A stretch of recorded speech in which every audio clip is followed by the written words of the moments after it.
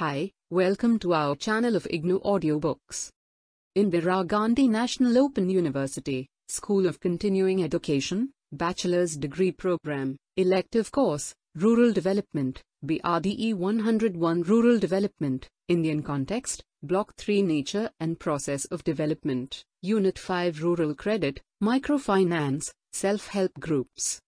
5.1 Introduction the rural sector accounts for 71% of the total population of the country while it contributes approximately 21% of the gross domestic productivity of the country.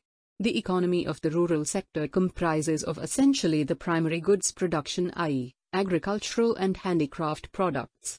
The society of the rural sector comprises of the farm owners, farm laborers, rural artisans, village-level service givers, small businessmen, transporters etc. In this era of globalization cereal-oriented subsistence cultivation is giving way to market-oriented non-cereal cultivation practices. The significance of credit provisioning has increased manifolds, since agriculture now cannot be left upon the mercy of rain god and soil mother. The alternative to these uncertainly ridden phenomena is in the realm of technology, the purchase of which requires adequate finances and timely provisioning i.e., before the onset of the agricultural cropping seasons such as Kharif and Rabi. Sir Frederick Nicholson in 1895 noted in the report on land and agricultural banks in Presidency of Madras, lessons of the history are that an essential part of agriculture is credit. Neither the condition of the country, nor the nature of land tenure, nor the position of agriculture affects the one fact, that the agriculturist must borrow. The issue therefore of rural credit cannot be overemphasized. 5.2 Rural Credit System in India The rural credit system in India can be broadly divided into two categories, namely I. Unorganized sector 2. Urga underscoreganized sector TI1 The unorganized sector comprises of the informal channels of credit provisioning in the rural regions. They have been known to exist from the times when agricultural produce began to be marketed. In fact, till 1954 the share of this sector in the credit structure of rural India was to the tune of 94%. The importance of this sector is now however declining due to the various legislative measures besides decentralization and democratization of credit sources in the rural regions, on accounts of the unjust usury practices of loan recovery by the various exponents of the category. The unorganized sector has two segments the professional, consisting of the indigenous bankers like Multanish, Patanis, Shroffs, Chettiars and other similar money lenders besides nidhis or trusts, while the other is the non-professional segment, which includes landlords, merchants, Marwaris and agriculturists etc. This sector is singularly notorious for its high rates of interest besides other usury practices that act highly detrimental to the interest of the borrowers the only redeeming feature being its ubiquitous nature of occurrence in the countryside and its readiness to give credit, even for non-productive requirements of the rural peasantry, thus its appeal and consequent popularity. The organized sector of the rural credit system in India consists of a large number of financial institutions participating at different levels, viz., the primary agricultural credit societies, rural branches of commercial banks, regional R colon underscore rural banks and land development banks etc. operating at the grassroots level, the Central Cooperative Bank the commercial bank with one of them designated as the lead district bank at the district level, the Apex Cooperative Bank at the state level and underscore at the national level capping this structure is the National Bank for Agricultural and Rural Development, NABARD, under the overall direction of the Reserve Bank of India. 5.2.1 Objectives of the Bank for Rural Development 1. To give financial assistance to small and marginal farmers for increasing their productivity through innovative techniques of cultivation, irrigation, fertilization, etc. 2. To give financial support to the rural artisans by way of promoting Nirawan industrialization. 3. To help rural beneficiaries to form self-supporting financial institutions such as cooperative credit societies. 4. To financially aid groups and organizations who are working for the welfare of the rural sector. V. to adopt certain villages to create the demonstration effect for improving the conditions of rural habitants by providing basic amenities and appropriate technologies. The following diagram suggests the structure of rural credit servicing in India. Look at the screen for diagram content. The organized sector of the commercial bank category including the Reserve Bank of India has been of a recent origin.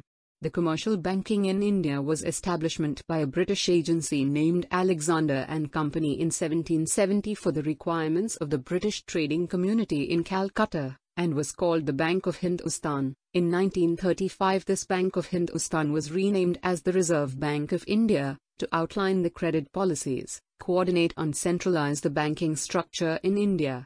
The function essentially till independence was to regulate the commercial lending activity of the commercial banks in the country. Check your progress 1. 1. What types of loans are considered productive? 2. What are unproductive loans? 5.3 Rural Credit Structure the Agriculture Credit, under Section 54 of the Reserve Bank of India Act 1935, stipulates the establishment of the Agricultural Credit Department, that was instrumental in the conduct of survey studies in 1936 and 1937 to gauge the nature of the rural credit available and the character of the rural credit requirements. Consequently, a variety of initiatives were taken to reinvigorate the cooperative credit movement that gradually evolved into a full-fledged cooperative credit structure with two separate setups, one for short-term and the other for long-term credit provisioning, with complete financial accommodation at the national level. This concern continued till the independence of the country. The All India Rural Credit Survey undertaken by the Reserve Bank of India in 1954 clearly brought out the limitations and consequent failure of the cooperatives in channeling credit to the rural peasantry and farmers alike was awarded with the observation that cooperatives have failed but cooperation must succeed. The credit movement was launched with the primary objective of releasing the rural poor from the clutches of the money lenders, landlords, traders etc. and the credit provisioning of this underprivileged section for productive assets so that they may be able to break out of the vicious cycle of poverty which had engulfed the entire rural peasantry. Today the hold of the money lending classes is still immense though it is steadily declining. The Rural Credit Survey Committees estimated that in 1951-52 the unorganized sector provided 93.6% of the total credit supplied in rural area. In 1961-62 this figure had come down to 81% and by 197 J. 72 it had receded to below 60% by the 1990-91 decade. The figure of rural credit supply of this sector amounted to 54% and the cooperative credit FL.AU could not step into the role of rural financer as had been envisaged. It remained a problem on account of 1 the cooperative leadership and management being in the hands of big farmers. 2. Land ownership being a dominant criterion of admission to membership and extension of credit. 3. Lack of technical expertise and operational efficiency. The Rural Credit Survey Committee of 1954 had recommended an integrated rural credit structure based on three fundamental principles I. State partnership at different levels, 2 full C0 ordination between credit and the economic activities especially marketing and processing, and 3. An administrative setup with adequately trained personnel, responsive to the needs of rural population. Incorporating these principles the cooperative credit structure evolved into a federal character with the primary agricultural coup credit societies at the grassroots level, the central cooperative banks at the district level and the apex cooperatives banks at the state level. These credit institutions thus supplied finances, supervised its utilization, recovered dues from members, functioning as balancing factors at each level and supplementing their financial resources through deposits borrowings from the public money market and the Reserve Bank of India. Nevertheless, the persisting inadequacy of rural credit promoted the formation of the Agricultural Refinance and Development Commission in 1963 to provide funds for refinancing of the cooperative sector followed by the establishment of the All India Rural Credit Review Committee in 1966 to review the supply of rural credit in the context of fourth five-year plan in general and the requirements of intensive programs of agricultural production in different different parts of the country in particular, The 1965-67 drought focused concentrated attention upon agricultural alternatives of which the Green Revolution was one.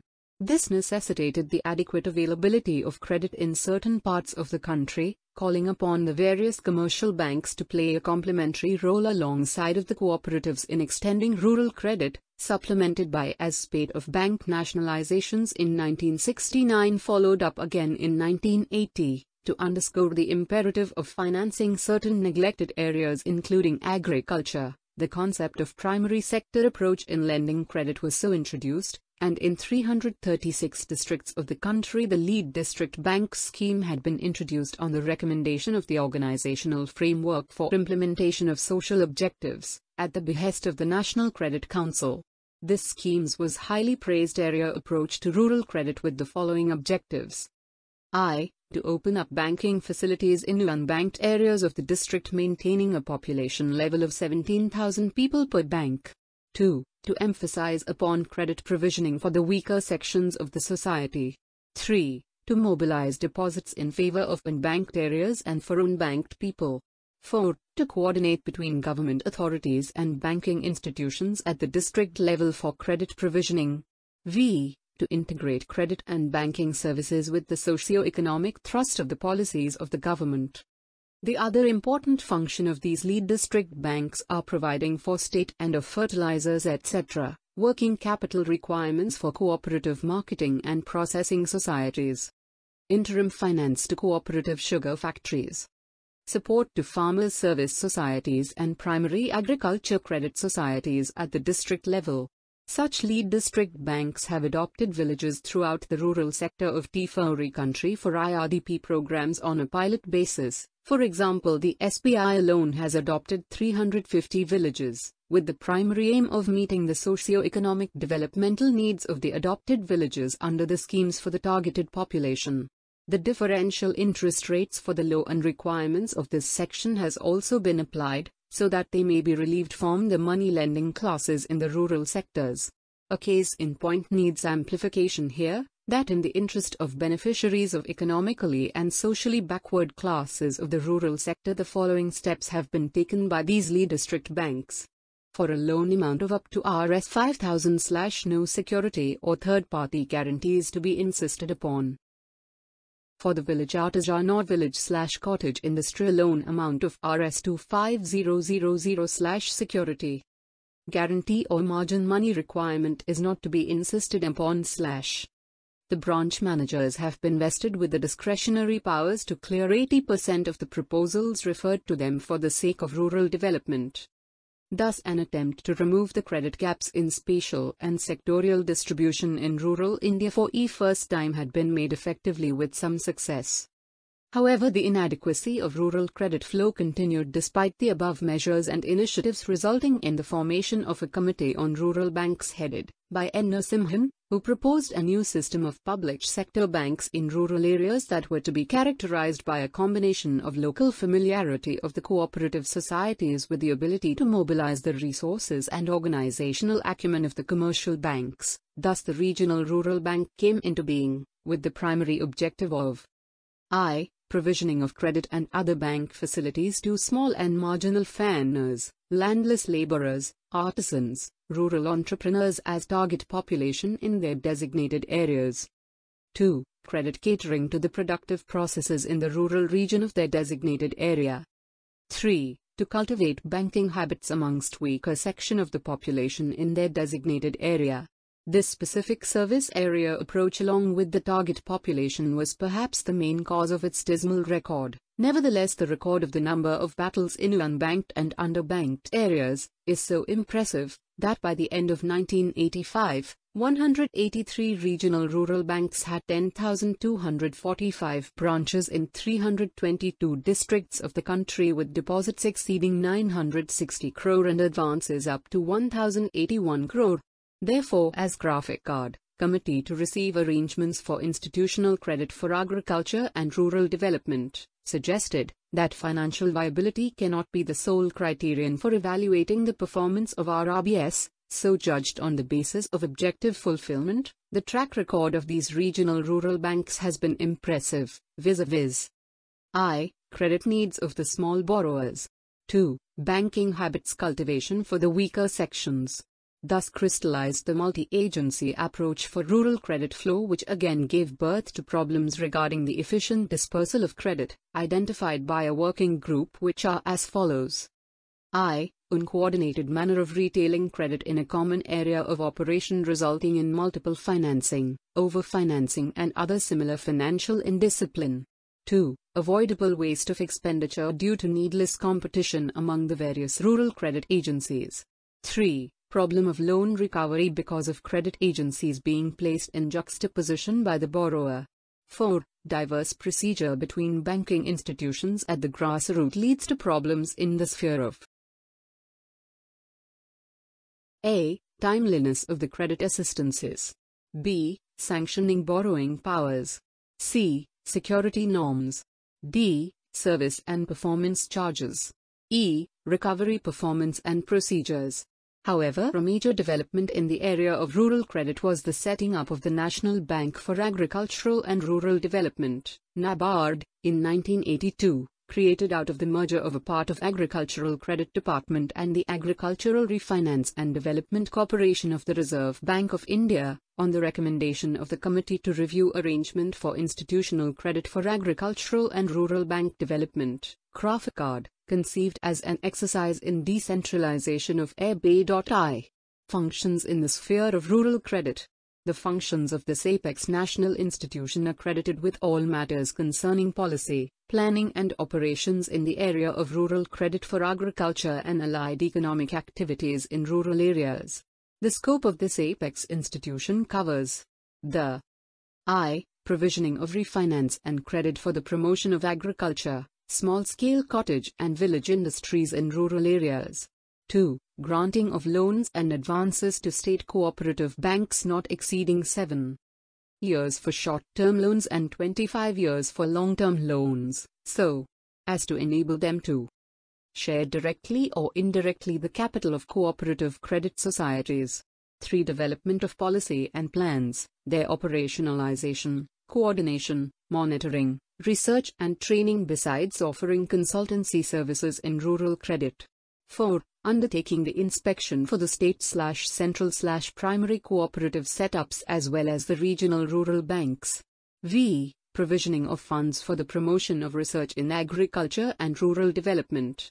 Y. Production and marketing activities of artisans and other rural craftsmen. 7. Provide investment for not only minor irrigation works but also for activities for promoting agricultural and rural industrial development. This apex institution also operates in association with the World Bank groups of projects that have now started playing a vital role in the sphere of rural development. Today the World Bank is the single largest source of external fund, financing the various rural upliftment programs in the country based on the assumption that people in rural areas experience poverty due to I. Overpopulation, 2. Limited resources, 3 primitive technology that this can be redeemed if the limited resources and labor can be mobilized, poverty can be reduced and standard of living can be improved in the rural areas. These assumptions provide either necessary assistance for starting development projects at the rural levels in the country. This assistance from the World Bank is channelized through the central and state governments to the panchayats for effecting rural upliftment. You are listening to this Check Your Progress too. 1. Complete the following depiction of rural credit institutions at various levels. National level, state level, district level, village level. 2. Mention the structure of the cooperative banks. 3. What are the causes of failure of the regional rural banks? 4. What are the purposes of the NABARD? 5.4 Concept of Microfinance Microfinance is the provisioning of credit and financial services of small quantity to the poor and needy.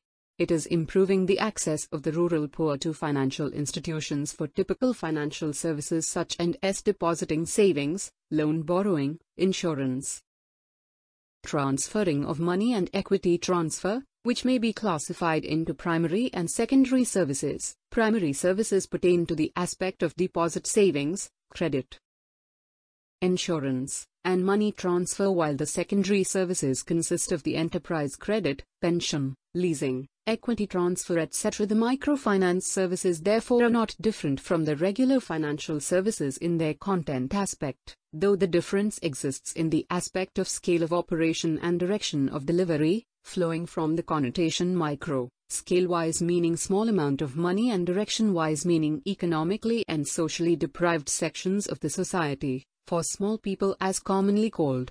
The need for primary credit services arise out of the internal demand that essentially contribute to the process of aviation of poverty while the secondary credit services are the product of external societal perception requiring non-financial support such as capacity building, forward and backward linkages, MAT attempt to take initiatives against poverty through growth processes. The primary credit services therefore through reduction of personal costs give ascendancy to the inclusionary processes that must be achieved for succeeding in the growth processes generated by the secondary credit services. Credit provisioning for financial institutions of any scale is essentially the product of the demand and supply aspect of capital. The demand factors being determined by I. Credit services availability. 2. Respect for that credit service. 3 effective utilization of that service's resources. While the supply factors includes 1. Capital 2. Regulation and supervision 3. Delivery models 4. Sustainability and adjustability to market conditions. In the sphere of microfinance, the logistic imperative is capital, though its small quantity is no barrier, however its quantity does determine the size of business, level and scale of technology utilized along with the aspect of propensity to save and the level of credit absorption rate. But this shortcoming is overcome by the nature of microfinance service being of a doorstep service provider along with the characteristics of compassion, cooperation and utmost transparency in transactions is inbuilt in the microfinance activity to counter the negative effects of free playing of market forces upon the microfinance institution, the tools of efficient information system, effective regulation and supervision and high quality assurance are but ample guarantees of sustenance and rural development. Very significant changes are taking place in the rural sector. There are incipient signs of a much closer connection between the primary producers, trade intermediaries and food processing entities, that have become the new growth centers of the rural regions, characterized by a high degree of heterogeneity unlike in the era of cereal production. Today there exists a myriad of product varieties concentrated in certain areas for the market under vastly differing marketing conditions with equally varying input requirements. These new growth centers are essentially the product of diversification of the agricultural base from subsistence-oriented cereal production to non-cereal market-oriented cash crop production with emphasis upon the aspects of storage, transportation, processing and retailing thereby strengthening the linkage between agricultural diversification and rural industrialization. This has spawned the development of a new marketing approach of direct marketing as opposed to government regulated wholesale markets that provided hardly any assistance to the farmers in marketing. This new system not only smoothens out raw material delivery to the agro processing units but also assists the farmers and rural artisans as well as rural entrepreneurs to get maximum benefit and thereby profit enhancement results in the raising up of the rural standard of living. The new development mantra is microfinance aided by the political ideology of the Panchayati Raj in rural areas. It has brought about this transformation. It is therefore the primary remedy for the ills of the rural sector's credit flows.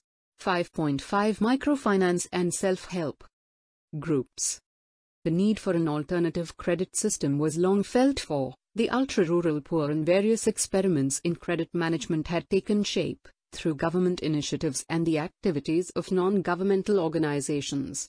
A case in point could be the Self-Employed Women's Associations, SEWA Bank in 1974, followed by the Mysore Resettlement and Development Agency, MYRADA, and Muhammad Yunus's Grameen Group model the forerunner for which had been the Credit Management Group, CMG, in .1970, in the background of today's self-help groups, SHG for rural development, in realm of providing financial services to the rural poor. This provided the base for NABARD to launch a pilot project to experiment with 500 SHGs in 1992. The Reserve Bank of India constituted a working group to study this experiment in 1994, and in 1996 issued a circular that fostered credit linkage between informal SHGs and the banks. This proved to be a landmark policy decision in the area of microfinance in rural development. Another such innovation was the introduction of the Kisan credit card policy that encouraged banks to lend short-term loans against land security to cater to the credit needs of the landed gentry in rural areas. 5.5.1 What are SHG? They are small groups of people facing similar levels of economic and social deprivation, who come together to solve their poverty-ridden problems by uniting their efforts and pooling in their resources. I. Finances, henceforth to be termed one ed as common fund. From this common fund the members of the group can draw small loans. This, common fund, of a group of people preferably not less than 10 and not more than 20 members, can be deposited in a bank by opening an account of the group after taking a decision to this effect in a meeting attended by all the members. Thereafter a gestation period of six months of trouble-free operation of the group's account to convince the bank of the confide credentials of the group's members, the bank may consider for credit linkage of the group's common fund with the bank's resources, depending upon the quantum of the common fund. This is the loan to the self-help group and it may be used by the group to enhance its intra-group loaning activity, for any purpose deemed fit by the self-help group. The members of the group are to realize that like their savings, the bank loan to their group is also their money and that the group as a whole commits repayment of the loan to the bank. It is group psychology upon which the credit linkage scheme bases its operation, as it fan up moral pressure upon the borrowing members for loan repayment, on account of which the loan repayment ratio is cent percent. The goodwill between the members of the group and the bank's authorities is sustained in a symbiotic manner.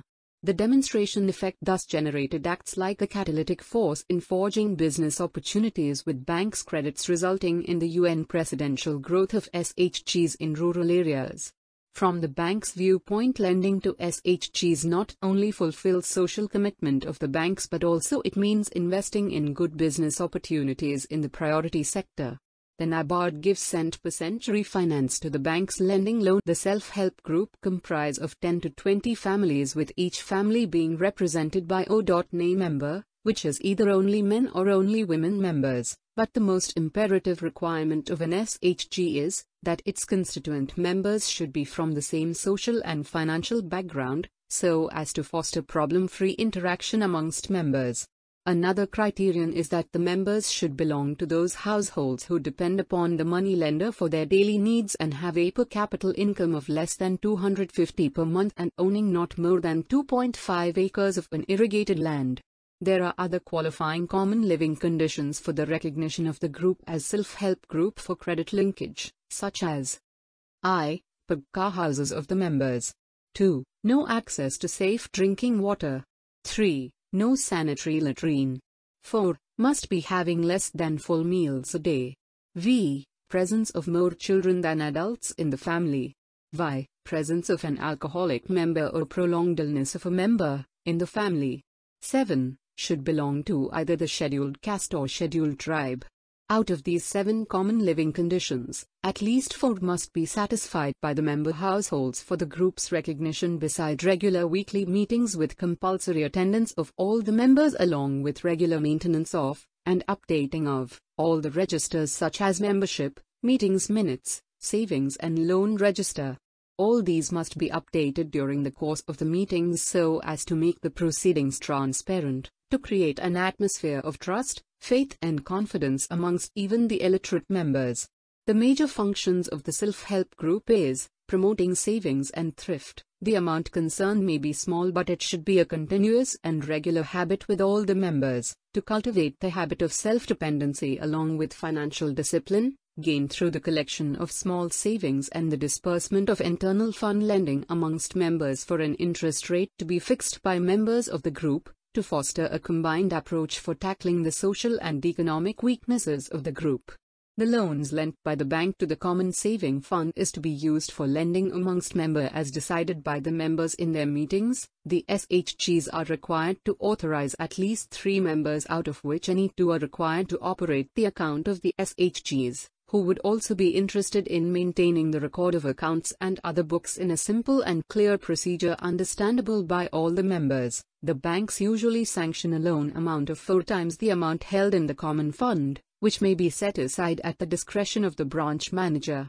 The purposes for which loans can be lent vary from the production-oriented requirements to social and pathological requirements viz., purchase of economic assets, marriage, birth, death, hospital and health requirements etc. but only after the discussion in the self-help group meetings has occurred and taken note of. So, to an extent very limited though care of the credit needs of the poorest of rural poor seems to have been taken, at least theoretically.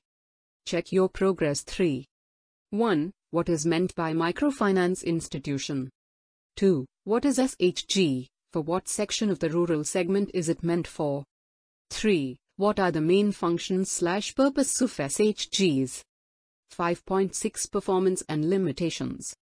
A review of the literature on rural credit in India reveals that the overall credit flow in the rural sector emanates from two sources, the non-institutional sources dominated by money lending categories and the institutional sources, dominated by cooperative banks and societies, commercial banks and regional rural banks etc. Though institutional credit has increased over the years several gaps exist in between to buttress their supplementary role, though in a decreasing occurrence.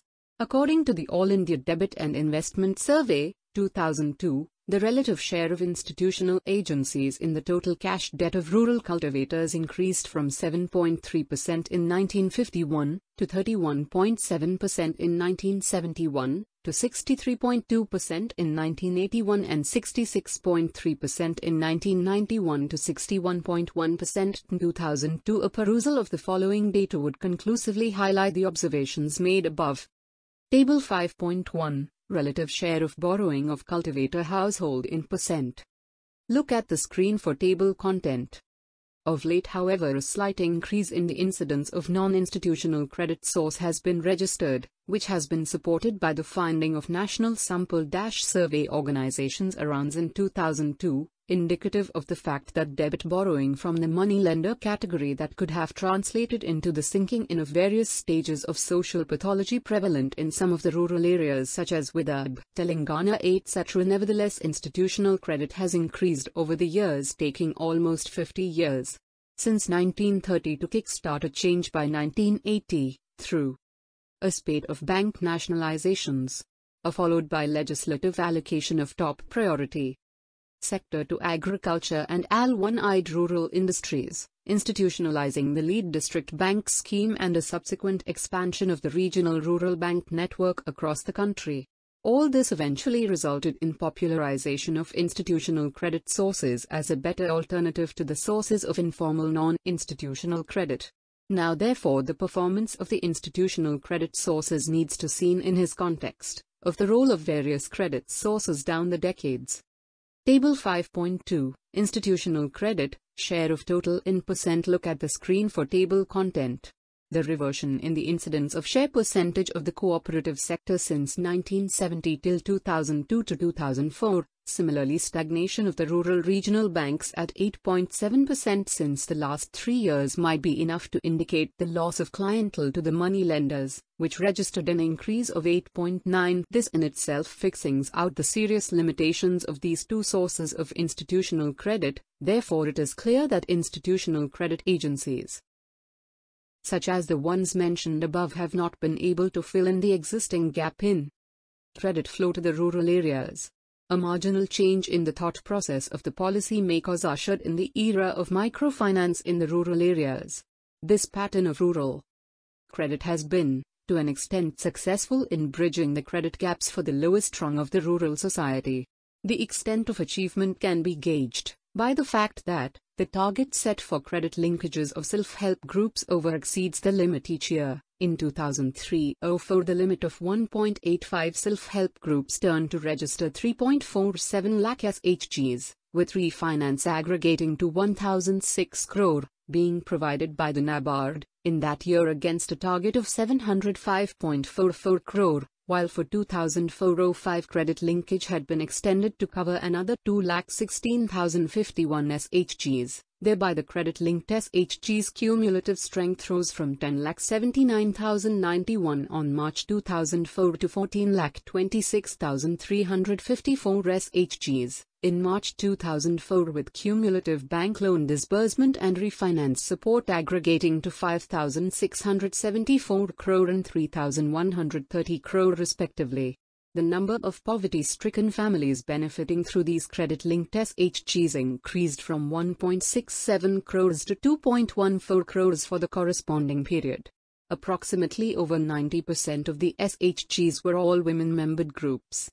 Based on the success of these SHG which was specifically for the SC and ST classes, the rural credit aspect witnessed the extension of similar schemes for the non-priority segment elements such as the joint liability groups, to cater for the credit requirement of the middle segment clients dominated by tenant farmers, rural lessees, sharecroppers, besides small and marginal farmers. This scheme is its the pilot project stage and has been introduced only in seven states through eight agencies viz Bihar, Karnataka AA, Madhya Pradesh, Kerala, Maharashtra, Tamil Nadu, and West Bengal. Similarly another project called the Farmers Club has been launched and nearly 11,000 farmers clubs by March 2004 had been sponsored by NABARD throughout the country, aimed at generating self-sufficiency of the middle segment farming community exclusively. Another 5,000 such clubs were to be sponsored the following year, with the support of regional rural banks and the commercial banks to facilitate the growing credit demands for specific non-cereal products production, storage, transportation and marketing initiatives in non-conservative agricultural regions, to deepen up and widen out the agricultural lending in keeping with the paradigm 5.6.1 limitation.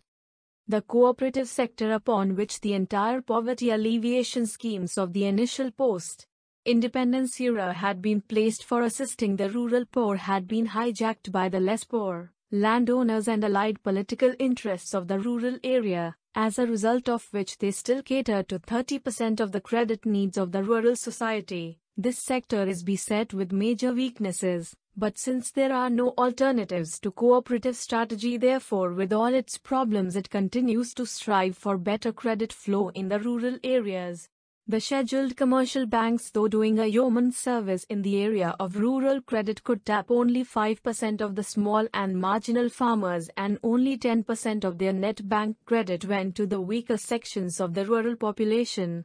This despite the fact that about 40% of rural credit is mostly microcredit and that too is Refina 11 said by NABARD.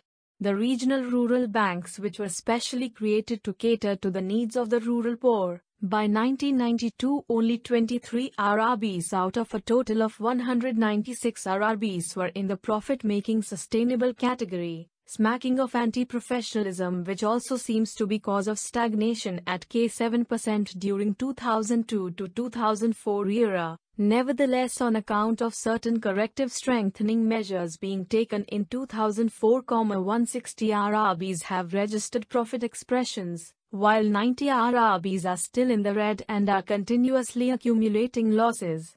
This process of strengthening has contributed to a thoroughly changed scenario for the profit-making 160 RRBs where the credit deposit ratio exceeds 40% while for the other 90 RRBs the credit deposit ratio is under 25%. Thus they are no longer sustainable and viable microcredit 1T institutions.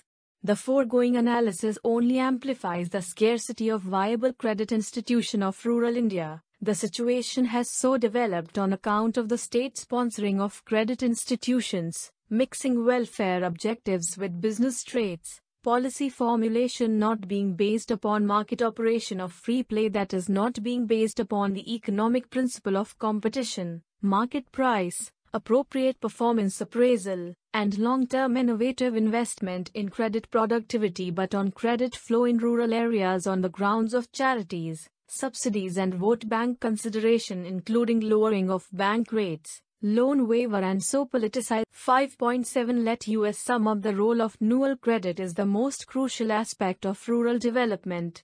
Rural credit hitherto had been the domain of the various money lending categories. Since independence, the cooperative credit structure gained in importance and it was linked with other aspects of rural development. Unfortunately, the cooperatives started serving primarily the rural haves and the rural poor got neglected in the process. That was corrected to an extent by the nationalization of major commercial banks by allocating the top P1 priority sector to agriculture and allied rural industries. To operationalize credit flow in the rural sector in a coordinated manner, the lead district bank scheme for the districts was launched along with a broadening of the rural banking base in the shape of regional rural banks, smoothing out credit flow in bankless areas for the poorest of the poor in the rural areas to ensure better spatial distribution and sectorial disbursement of credit in mid-1995 the concept of microfinance on the pattern of Grameen